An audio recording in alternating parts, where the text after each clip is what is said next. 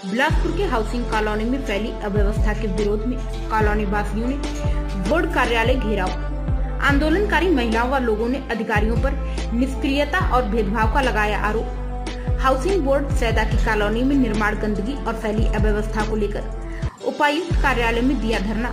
आपको बता दें कि सरकारी हाउसिंग कॉलोनी सैदा में फैली अव्यवस्था के विरोध में कॉलोनी वासियों ने तिफरा के बोर्ड कार्यालय का घेराव किया, जिसमें महिला बच्चे सहित कॉलोनी निवासी मौजूद रहे। कॉलोनी में फैली अव्यवस्था से आक्रोशित महिलाओं व लोगों ने अधिकारियों पर निष्क्रियता और भेदभाव का आरोप लगाकर उपायुक्त कार्यालय में नारेबाजी की, जिसकी वजह से माहौल बना रहा और लोग देखते रहे।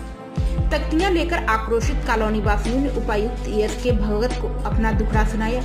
इसके अलावा कॉलोनी वासियों ने अव्यवस्था पर सुनवाई नहीं करने पर एक महिला अधिकारी सहायक अभियंता का नाम लेकर शिकायत की, जिस पर अधिकारी ने उन्हें बुलाकर समझाइश देकर समस्या के निराकरण को लेकर निर्देश दिए। पता नहीं हम लोग इस लायक है कि नहीं है वो जाने। अब जब हम लोग के लिए उनको बनाया गया है तो कम से कम हम लोग का बात तो सुनना चाहिए समस्या सुननी चाहिए। निवारण अगर नहीं कर सकते उनके हाथ में नहीं है तो कोशिश करना चाहिए दूसरे अधिकारियों को बताने के लिए। लेकिन ये भी नहीं करते बस फ़ोन भी नहीं उठाया अगर उठाए भी तो ये काम मैं नहीं कर सकती ऐसा थोड़ी ना होता है सर। ऐसा नहीं होता। करना भी नहीं चाहिए। अगर हम लोग के लिए बनाया गया है तो हमारे साथ उनको रहना चाहिए। उनके वरिष्ठ अधिकारी मतलब सह दे रहे हैं हाँ उनके अधिकारी सह दे रहे हैं। तो फिर वो फिर हमारे कॉलोनी के लिए कहाँ होंगे? वो वो तो अपने उनके लिए हुए ना अधिकारियों के लिए। ठीक है अपना नाम बता दीजिए। योगिता चंद्राकर है। ठीक है। चाहते हैं टंकी साफ़ हो हम्म, पानी साफ़ मिले चैम्बर का भी सफ़ाई चैम्बर का ढक्कन नहीं है खुला है हम्म। जिसमें जानवर गिर जाते हैं हम्म। कभी बच्चे भी गिर जाए हादसा हो सकता है उसको भी चाहते हैं कि बढ़िया होके रहे अच्छा आप लोग कब आए हैं यहाँ पे मकान में? हम लोग 2014 में आए तो उस वक्त से लेके अभी तक क्या कंडीशन रही है?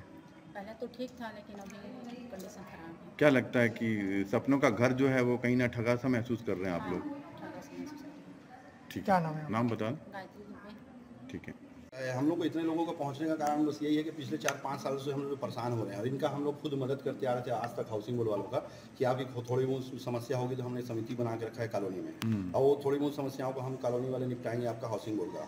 ऐसा करते करते हम लोग दो तीन साल तो ऐसे खींचे पड़ जाते लेकिन अभी पिछले दो सालों से जो अधिकारियों का मनमानी रवैया चल रहा है, सुनना ही नहीं, बातें नहीं करना हम लोग हाउसिंग बोर्ड दस बार आके अपनी शिकायतें दे चुके हैं, हमारे पास तो शिकायतों का मार लगा हुआ है, हमारे फाइलों में पड़ा हुआ है, लेकिन कोई ध्यान नहीं देता है। छोटे मोटे जो अधिकारी उनके ऊपर जो सौंपा जाता है तो पाँच बार छः बार में फ़ोन उठाते हैं।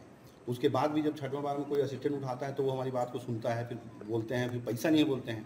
छोटी छोटी परेशानियों में मतलब पीने का पानी जो टंकी होता है वो दो साल से सफ़ाई नहीं होता आप सोचिए कि पीने का पानी जो है जो घरों घरों में जा रहा है जो लोग पी रहे हैं वो दो साल से सफ़ाई नहीं हुआ है।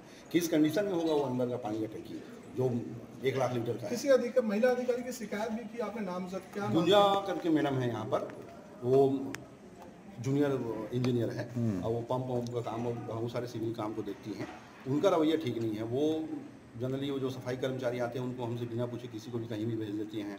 और हमसे बिना पूछे वो सामान को कहीं से भी कॉलोनी के उठा के कहीं पर भी ट्रांसफ़र करवा देना। और हमसे मतलब कोई चीज़ को अच्छा कितने लोग होंगे कॉलोनी में? कितने ऐसे लोग ऐसी स्थिति नहीं है। अभी जो नगरीय क्षेत्र की कॉलोनी पिछले अगस्त में हैंड ओवर हो चुका है। उसको आप नगर निगम हैंड ओवर अपना मेंटेन करेंगे नंबर ऑफ़ कॉलोनी कितनी है जिनको हैंड ओवर कर दिया जिनकी ज़िम्मेदारी आपके पास कॉलोनी हैंड ओवर हुई है जी। जो नगरीय क्षेत्र में। तो जो आपके अधीनस्थ है या जो आपके हैंड में है उनकी तो हालत खराब दिख रही है। इनकी?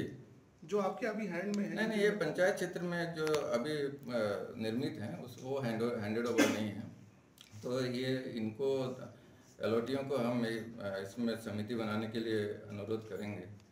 क्योंकि पंचायत क्षेत्र में कंटिन्यू हम मेंटेन नहीं कर पाएँगे। सर जिस तो इसको मेंटेन इसको दुरुस्त करने के बाद इनका जो जिनायत रीजन है इसको दुरुस्त करने के बाद इनसे हम रिक्वेस्ट करेंगे कि ये अपना सोसाइटी फॉर्म करेंगे और ये मेंटेन करेंगे। सर सोसाइटी की बात तो ना आपके अधिकारी नहीं मानते हैं जो जिम्मेदार अधिकारी हैं फ़ोन नहीं उठाते हैं मनमाने ढंग से काम नहीं सोसाइटी फॉर्म करने के बाद उनको फ़ोन करने की ज़रूरत नहीं पड़ेगी। अब तक